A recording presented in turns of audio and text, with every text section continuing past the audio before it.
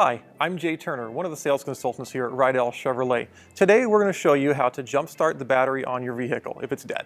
First thing we're going to do is look for the latch that opens up the hood on the vehicle. So I'm going to hop inside here. Most of them are going to be somewhere up underneath the dash right in here. I'll look for this one and it's right there.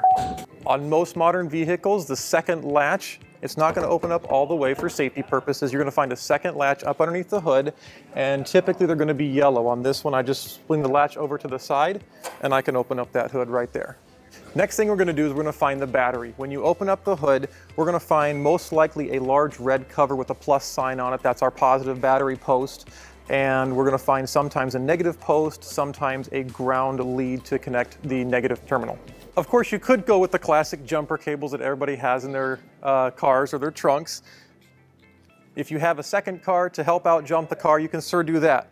In most uh, modern times, we've got what we have little battery packs here. So they're going to be a battery and your jumper cables right here. This is especially handy if you're by yourself and you don't have a second car or you don't have the room to put a second car up where you can uh, access with jumper cables. So what we can do is we can take, I'm just gonna use our jump box here for uh, convenience sake, and I'm gonna take my negative and I'm gonna put it on my ground.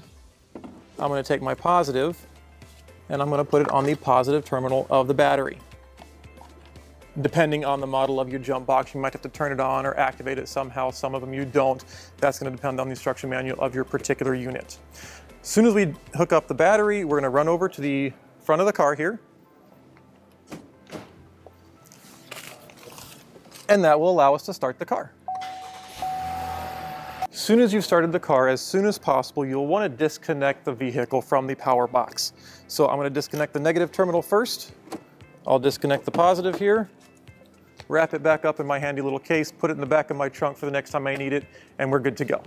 If you're using the classic jumper cables, what you'll want to do is the vehicle that is currently running and not dead, you'll want to take the red clamp, put it on the positive battery post, take the black clamp and put it on the negative battery post. Then you'll go to the other end of your jumper cables and go to the dead car.